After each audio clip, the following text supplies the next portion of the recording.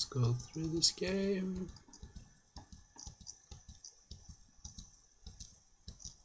Yeah. Here we were winning. This was too passive. Maybe we could have mated the red. Bishop there. Check. King over. Check. Oh, so close.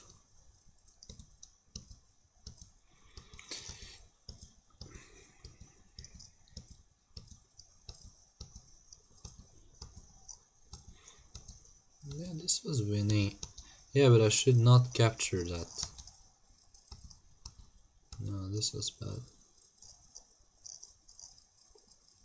Yeah. I should have done my original intention, which was to push L6. Yeah. Still interesting. Probably that rook shouldn't have been captured. I don't know.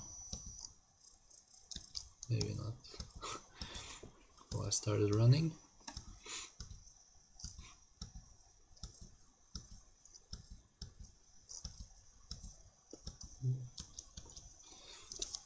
Can he avoid this? Probably not.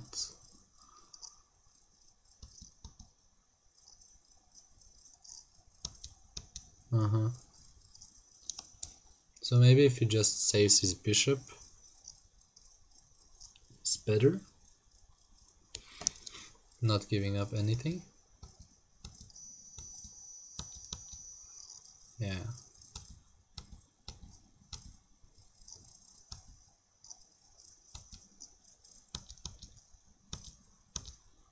Hmm. Was development wrong? Maybe you should have played bishop here. Bishop k6 takes the bishop. Yeah.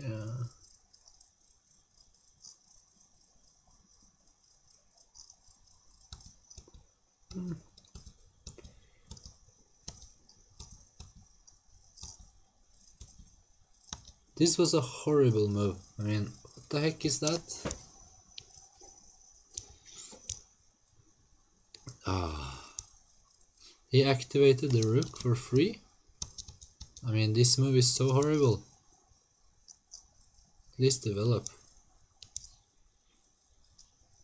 Rook over, for instance, is much better. This knight should not move. Or just push the pawn. I mean, push the pawn, these pieces are dead. Yeah, this was bad.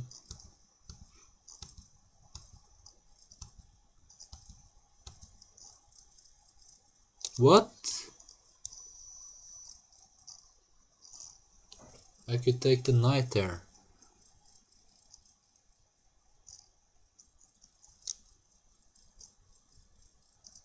Oh my god. I'm blind. What if I take the knight?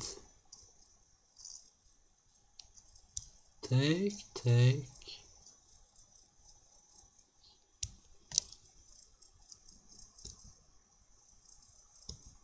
Yeah, I should have taken knight.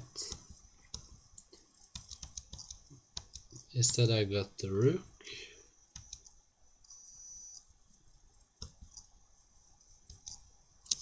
Take the knight here, much better.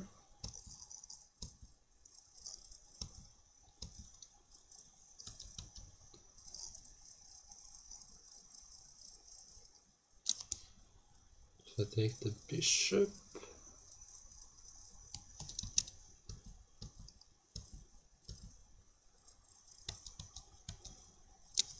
Yeah, this was a blunder. he should just play check. And I think we are still fine.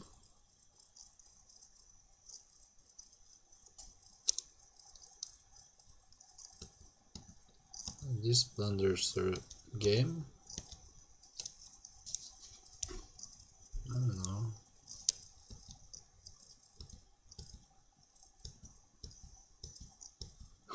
and somehow he managed to come back from this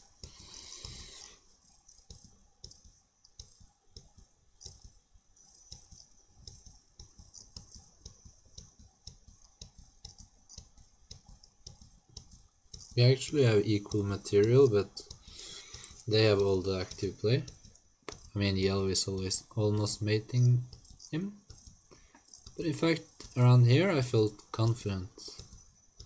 It's not clear that we're worse anymore, because I have a piece and red does not. Yeah, and here I flagged, which was unfortunate. I think we regained the advantage here.